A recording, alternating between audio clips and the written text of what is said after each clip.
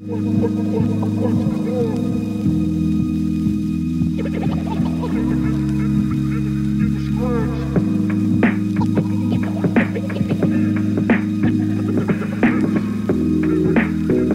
things done in the Aetrex Mara.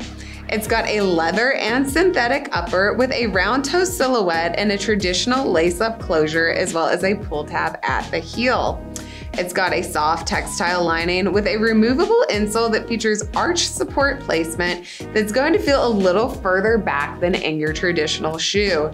This position is proven to relieve heel and arch pain as well as plantar fasciitis.